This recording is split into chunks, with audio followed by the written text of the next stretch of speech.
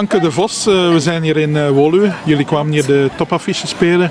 Je bent de matchwinnaar, hè? twee goals. Dank u. Ik denk dat je nog altijd een match wint met heel de ploeg, dus ik zou dat niet zo benoemen, maar bedankt. Ja, maar je bent belangrijk in de match. Je, uh, de strafschop is de fout op jou, jij neemt de strafschop. En ook de tweede goal, jij bent de snelste hè, bij die counter. Klopt, ja, maar dan nog, als ik de bal niet krijg, dan uh, kan ik zelf geen acties maken. Dus uh, ik zou de eer niet bij mezelf leggen, maar eerder bij het team. Ja, is het een goede revanche? Want uh, de vorige match hadden jullie tegen Wustwezel 1-1. Vandaag hier winnen tegen de, een belangrijke concurrent. Ik zou niet zeggen revanche, want ik denk dat 1-1 tegen Wustwezel de correcte uitslag was. We hebben allebei veel kansen gehad. Uh, een betwistbare goal, maar een goal die ze wel verdienen. Dus ik denk niet dat dat een revanche is, maar gewoon dat we ons goed herpakken om toch de drie punten te nemen tegen Woluwe. Ja, wat is jullie doelstelling? Uh, onze doelstelling is eigenlijk niet zo uitgesproken. Ik denk dat we gewoon beter proberen te doen als vorig jaar. Vorig jaar waren we tiende.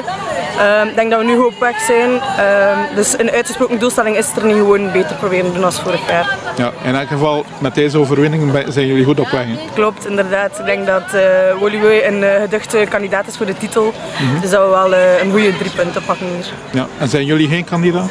Ik zou het niet zo benoemen. Misschien de andere ploegen ons zien als titelkandidaat, maar zelf speelt dat niet zo in de ploeg. Oké, okay, proficiat en succes voor het vervolg. Merci, bedankt.